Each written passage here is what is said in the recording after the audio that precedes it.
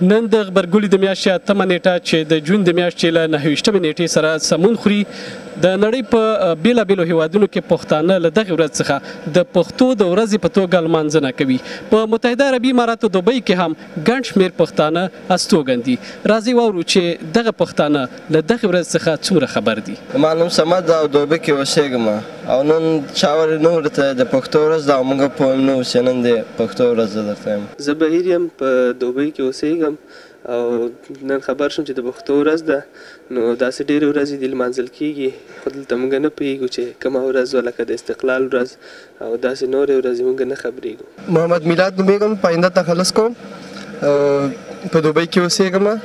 او د افغانستان یم نن مونږ خبر نه وو چې د پښتو ورځ ده ولې دغه د فیسبوک د پاڼې نه مونږ نن وکتل چې د پښتو ورځ ده او ډیر خوشاله یو او خپل پښتنو ورونو ته مبارکي وایم او ان شاء الله چې نن به دا ورځ مونږ د پښتنو ملګرو سره بعد د کار نه چې رخصتیږو دا ورځ به مونږ ولمانځو.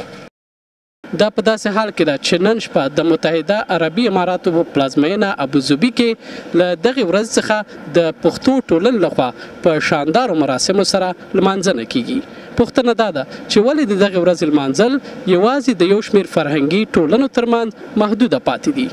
د پښتو ټولنې یو تن غړی نظار یوسفزی. نو هسې خو که وګورو پښتانه د تاریخ په دې اوږدو کې ټول عمر د خپل مورنۍ ژبې په حواله ډېر بې پروا پاتې شوي د خپل کلتور او د مورنۍ ژبې نه د دې په اهمیت پوه دي چې د یو ماشوم په پالنه د دې په روزنه کې د مورنۍ ژبې څومره لوی اهمیت دی خو بیا هم دا د خوشحالۍ او د اطمینان خبره ده چې څوک خو شته په دې پنځو لکه پښتنو کې پنځه لکه پښتانه په متحده عربانو کې مېشت ژوند کوي چې په دې کې سل، دوه سوه، درې سوه کسان داسې خو شته چې د مورنۍ ژبې په ویاړ باندې دلته کې راجمع شي او یو غونډه وکړي او خلک د خپلې مورنۍ ژبې په اهمیت باندې پوه کړي خو زه وایم چې په دې کې ګرم زموږ سیاسي ګوندونه دي او سیاسي مشران دي چې هغه پښتانه د مورنۍ ژبې په اهمیت باندې نه دي پوه کړي پکار ده چې په دې حواله باندې نور هم کار وشي نو زما خیال دی چې پښتانه بې ننګه خلک نه دی په خپله مورنۍ ژبه او په خپل کلتور باندې به ننګ خامخا کوي بیا. عام ولس د لمانځونکو نه د ستاینې په ترڅ کې دا هم غواړي چې د دا شان ملي او ویاړلو ورځو په لمانځنه کې دوئ هم شریک شي. اجمل تورمان، شمشاد راډیو تلویزیون، دوبئ.